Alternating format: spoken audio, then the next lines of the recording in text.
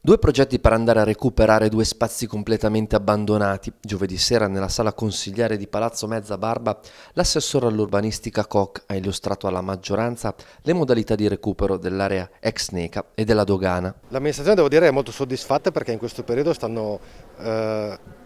andando avanti iniziative che si erano interrotte, quindi grande attenzione sulla rigenerazione, grande attenzione, grande entusiasmo di, degli operatori sulla rigenerazione di aree dismesse a Pavia. Ieri in maggioranza abbiamo presentato due progetti strategici fermi da anni e che proprio nel mese di maggio hanno presentato, gli operatori hanno presentato eh, dei preliminari aggiornati, quindi riavviando l'iter urbanistico e l'iter anche ambientale. Abbiamo parlato due progetti, eh, uno relativo al recupero dell'area ex NECA, fermo oramai da più di dieci anni, e uno relativo al progetto di riqualificazione dell'area della dogana, quell'area strategica posta a ridosso del cimitero monumentale di San Giovannino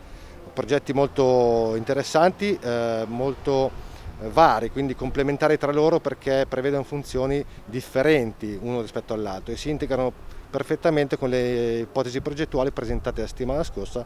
con il piano di, di recupero dell'area ex Necchi. All'interno della ex dogana, in particolare, troverà spazio una nuova scuola media, mentre alla NECA il progetto punta alla Green City. I progetti trattano aspetti molto differenti fra loro, però eh, è molto importante il riscontro di interesse pubblico che riversa in queste aree. In particolare sull'area della dogana sorgerà una scuola secondaria di primo grado di nuova realizzazione